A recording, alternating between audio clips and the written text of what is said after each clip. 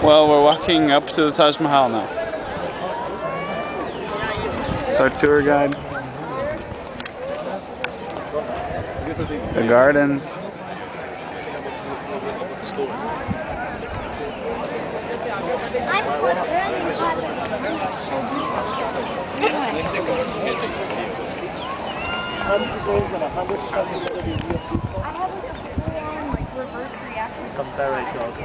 Well, this building was built by Shah Jahan. He was the fifth Mughal king of the Mughal dynasty and he made in the year 1631, about 350 years ago. It took 22 years to complete the entire monument and he made this monument for his dying wife. This lady got seriously ill in 1629 and there was no hope of her recovery. At that time she was pregnant. When she was laying on the deathbed, Shah Jahan asked this lady, how can I show this world that I really loved you?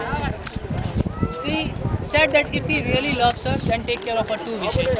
First of all, take care of her that he is not going to marry again and take care of her children. Yes.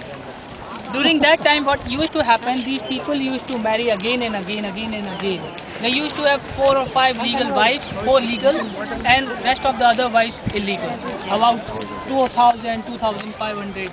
Yeah, they used to have these type- types of ladies at that time. She did not want that what the love he has shown in these 17 years, he should forget that love.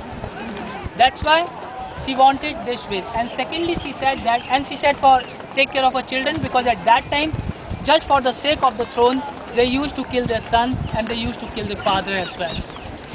Son used to kill their father, son, uh, father used to kill their son, sons. And secondly, she said that if he really loves her, then he should make a unique monument after her death. So this monument is standing like a symbol of love. He made this monument for this wife. So when she died, after two years, he started the construction of this monument and it took 22 years to complete the entire monument in the white marble and the surroundings with the red sandstone. You will find everything is laid out in the symmetrical pattern over here. It is made in the Persian style. The Persian style fails when you look this monument from the back side because it is not in the center, it is one of the bank of the river Yamuna. So when we go at the back side of it, you will find the river is flowing at the back of this monument. All the gardens are in front of it, it is not in the center here. Just for the symmetry, they have made two symmetrical buildings on the left and on the right. That is the mosque, and on there is one more building behind the trees. That is the guest house. That is the replica of the mosque there. There was there was no purpose to make that building, just only to put everything in the contrast. And that mosque is still in use. On Friday when it is closed for the tourists, local people come here and they do they make their prayers there. You can see there are four towers standing at the corner of this mausoleum. These are all Islamic symbols. Towers, domes at the top. Yeah, and these four towers are inclining two degree away from the mausoleum so that if any earthquake or a storm comes, they should not fall on this mausoleum. So they are tilting away two degree. When we go near to it, you will find they are falling away. And you will find there are five domes at the top. One is the bigger one. When we look the three domes which are in the front, you will find the optical illusion in those three domes. Optical illusion in the three domes. You can see this one over here. It looks it is in the front.